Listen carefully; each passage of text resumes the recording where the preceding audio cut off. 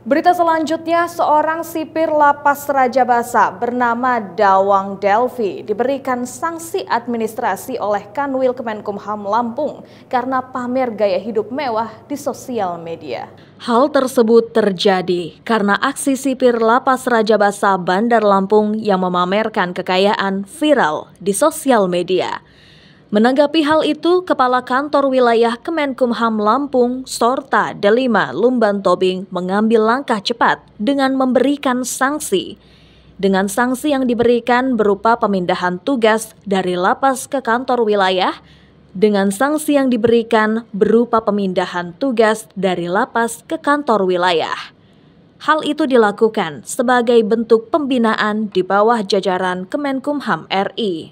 Nah, saya sebenarnya dari sebelum kejadian itu kita dari pimpinan pusat sudah memberikan arahan ya perintah untuk pola hidup sederhana sesuai dengan uh, pimpinan nasional kita Pak Jokowi sudah uh, menghimbau seluruh uh, ASN terutama ya untuk menjadi contoh teladan hidup sederhana itu terus digaungkan. Nah juga termasuk persepsi dari masyarakat kan berbeda-beda apa yang dilakukan Dawang ini juga pastinya dia tidak menyangka akan menjadi seperti ini tapi sudah uh, diperingati oleh pimpinan maka kita kembali lagi menghimbau mengulang lagi berulang-ulang lagi terus kita peringati teman-teman untuk tidak melakukan hal-hal yang tidak perlu.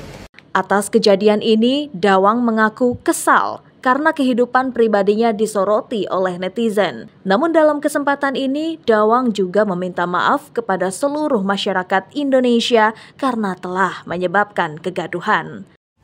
Sudah disampaikan oleh Ibu Kakanwil bahwa itu benar adanya. Eh, saya pribadi dan istri mohon maaf sebesar-besarnya atas kegaduhan saya terutama mencorengkan nama baik instansi, eh, instansi dan ini uh, Kementerian Hukum dan HAM khususnya saya dan istri mohon maaf sebesar-besarnya dan saya siap menerima konsekuensinya.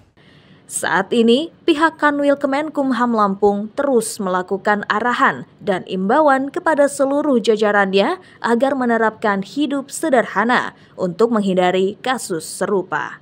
Dari Bandar Lampung, Putri Purnama, Metro TV Lampung.